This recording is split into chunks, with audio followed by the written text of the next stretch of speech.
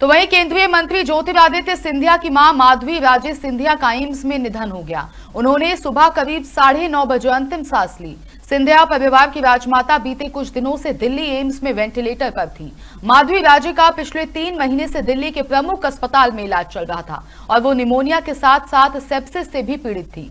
पिछले दिनों तीसरे चरण के मतदान से ठीक पहले ही उनकी ज़्यादा तबियत बिगड़ने की वजह से दिल्ली एम्स में भर्ती किया गया था। दिल्ली में निधन के बाद माधवी राजे के पार्थिव शरीर को अंतिम संस्कार के लिए मध्य प्रदेश के ग्वालियर लाया जाएगा। माधवी राजे के निधन पर सीएम डॉक्टर मोहन यादव, पूर्व सीएम कमलनाथ समेत कई नेताओं ने दुख जताया है।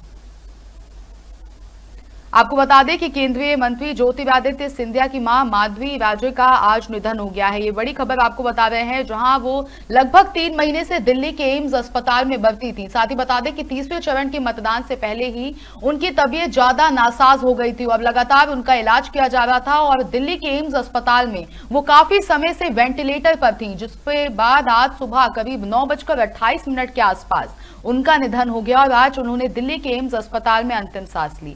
साथ ही आपको यह भी बता दें कि नेपाल के राजघराने से भी उनका संबंध जोड़ा जाता है।